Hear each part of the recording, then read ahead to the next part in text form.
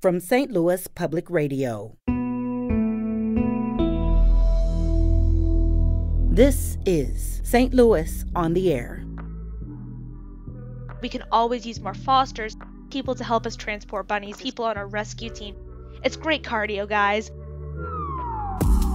Um, so that's kind of what the situation's been. I rescued one in college from a local butcher, um, and his name's Elvis. And then I got Dolly, and I have Bunny Holly and Kenny Rogers. There's so much more information out there now, so there's so many conflicting sources, so we'll just make it easy for people and have it all in one place. When they get hormonal, they'll start growling and boxing you and spraying pee, um, and that's just not what people expect when they see those cute, fluffy bunnies. Yeah, I mean, my jaw just dropped. These these bunnies are, are growling at people. I'm Sarah Fenske. They sure can, and they get up on their hind legs and they'll box you.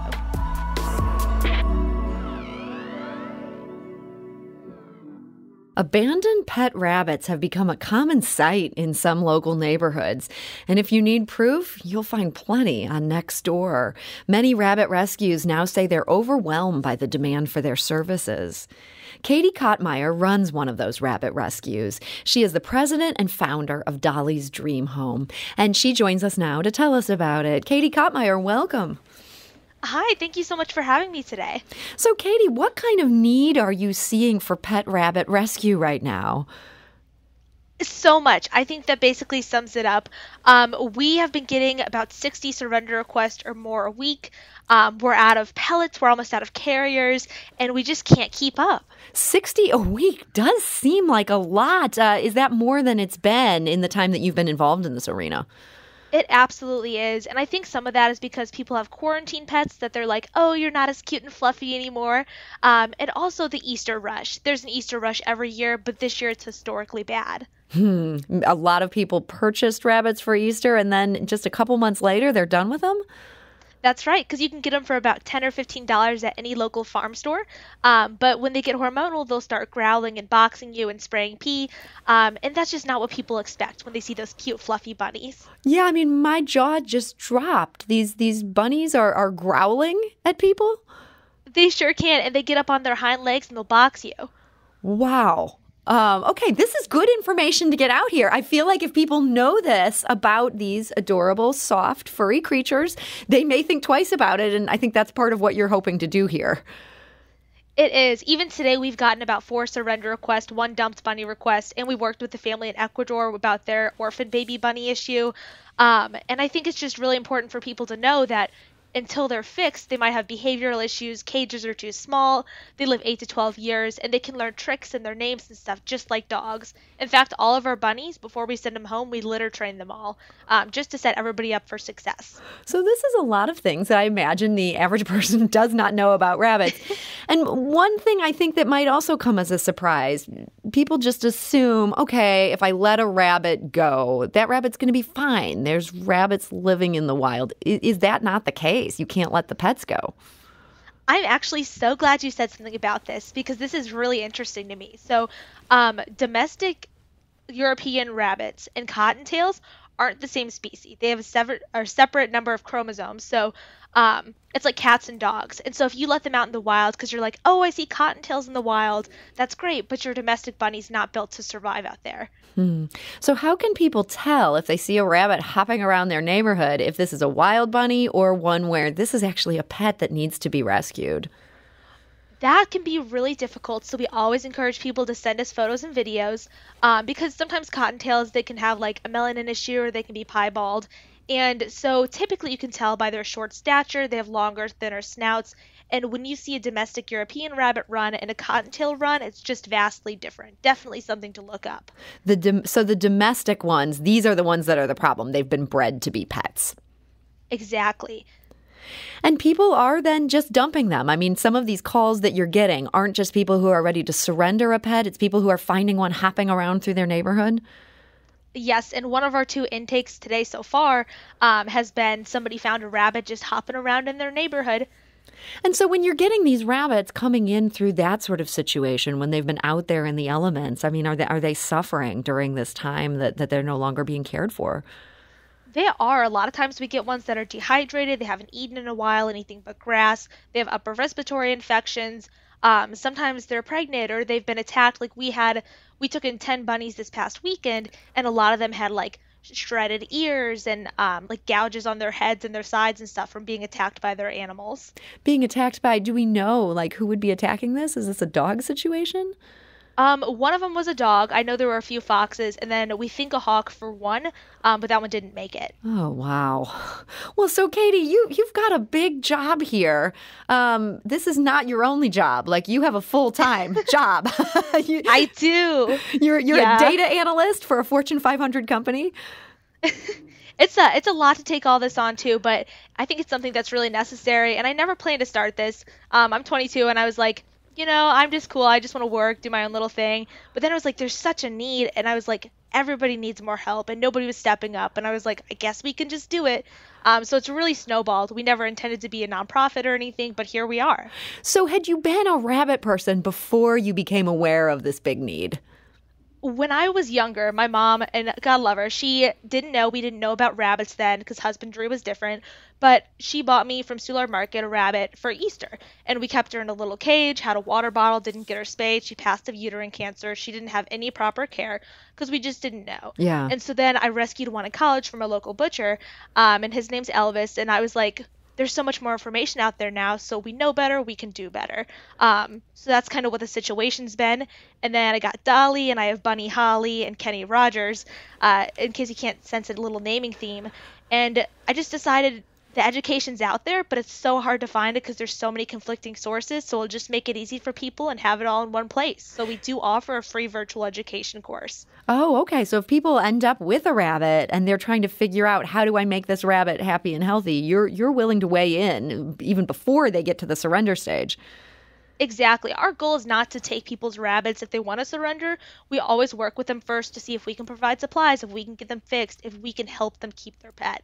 So tell us about the difference between this rabbit you got. Your mom purchased the first one at the Soulard Market. Please tell me they're not doing that anymore there. They still are actually, and they're selling them for meat too, two booths. Oh um, boy. Okay. Well, this is depressing. so you had this this rabbit that your mom got from the Soulard Market. You didn't know what you were doing. That this rabbit ended up being fairly unhappy. Correct. I was 10. It was an Easter gift. Um, and again, we always tell people because a lot of times adopters are like, well, I don't need to take the course. I've had a rabbit. But rabbit husbandry has changed so drastically in the last 10 years. We make everybody take it just so we start on the same page. So then when you got this rabbit when you were in college, this was Elvis, um, and there was mm-hmm. more information out there, or you were proactive about getting this information. How did things change for Elvis? What are some of the things you did differently?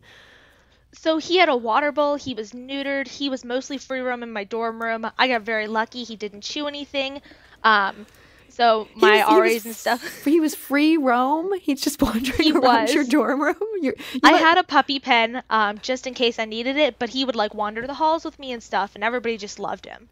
You must have had a good roommate, or maybe Elvis just was a, a likable rabbit.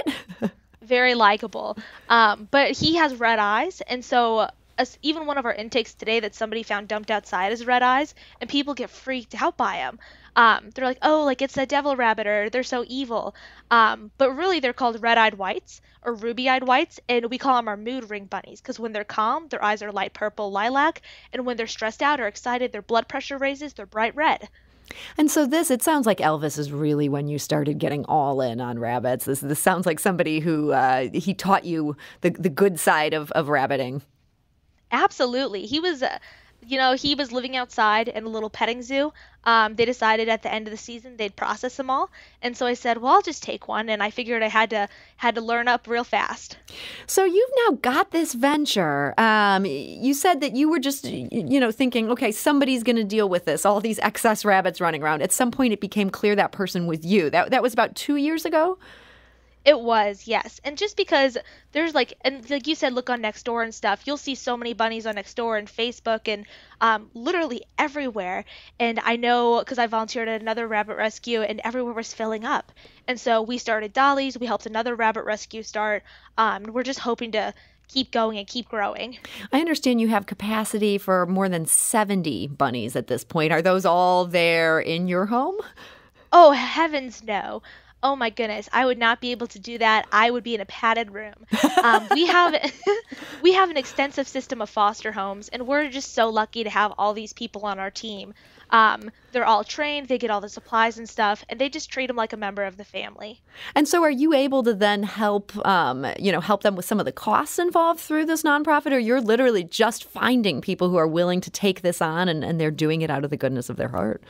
So everybody does it out of the goodness of their heart, which is insanely phenomenal. But any supplies that we get donated through Amazon or Chewy, we 100% send those directly to the fosters. So for the most part, all of their supplies are taken care of. Um, but sometimes, like if we're out of pellets or something, they will purchase those on their own.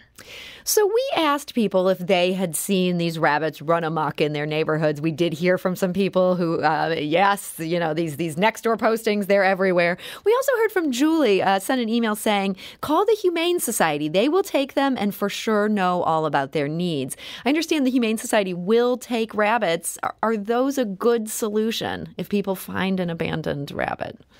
I don't think they're a bad solution.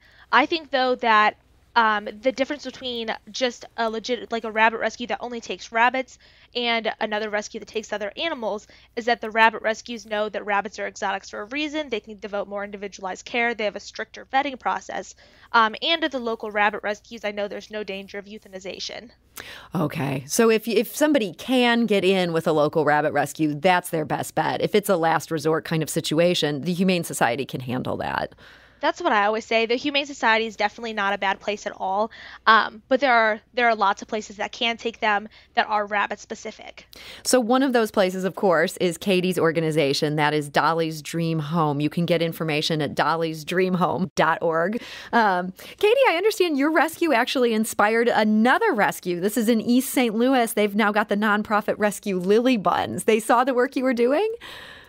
Yeah, so Lily Buns is actually in Belleville. They do a lot of work in the East St. Louis community, though, um, and they're they're like they're phenomenal. Originally, Kim, she started as one of our fosters, and she was like, "I feel like I could do more," and I was like, "Absolutely! Like, let's get you going." So she's a nonprofit now, and she is crushing it.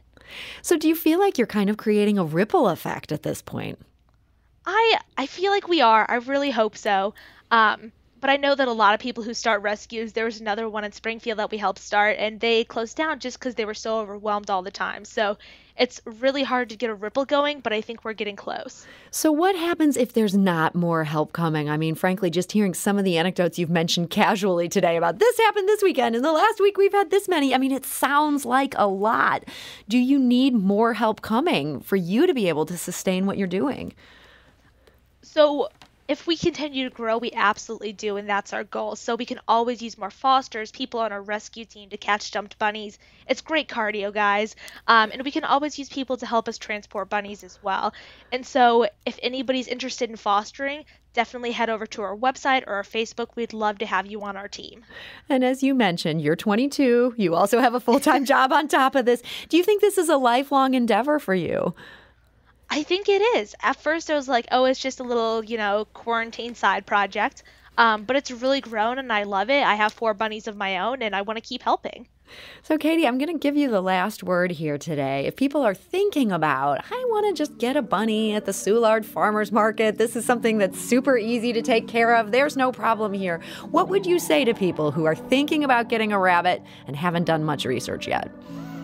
Bunnies are phenomenal pets, but they live 8 to 12 years, so as much as a dog or a cat can. And they can be litter trained, they can do all these incredible things, but living in a cage is like living in a bathroom. It's so small.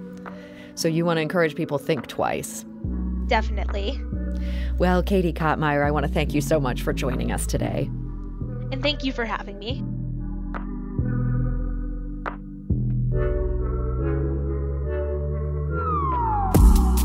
This episode was produced by Emily Woodbury with audio engineering by Aaron Doerr.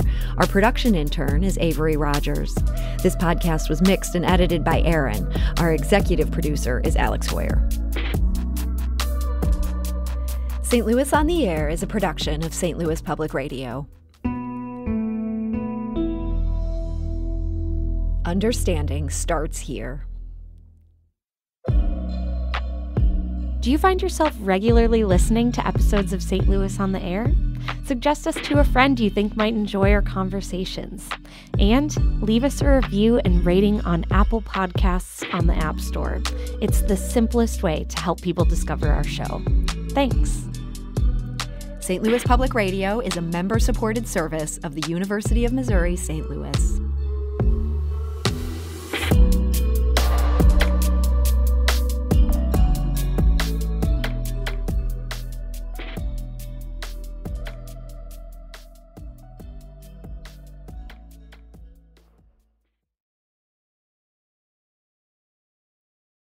Support comes from the Missouri Forest Products Association, providing more than 41,000 jobs in the production of wood pallets, railroad ties, white oak barrels, hardwood floors, and more. Details at choosewood.com.